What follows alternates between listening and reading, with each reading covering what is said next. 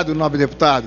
Pelo PSB do Rio de Janeiro, deputado Glauber Braga, depois Lobe Neto. Obrigado, presidente, deputados. Deputados, quero registrar que ontem tive a oportunidade de apresentar uma proposta na casa que é o Estatuto do Ciclista, no dia que se comemora internacionalmente a garantia de direitos para todos os ciclistas.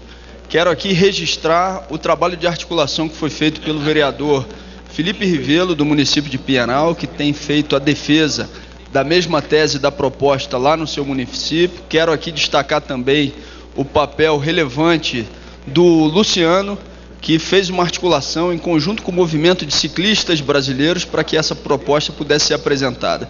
Agora se inicia a tramitação e a gente vai ter a oportunidade de discutir com tranquilidade, com ponderação e equilíbrio cada um dos pontos.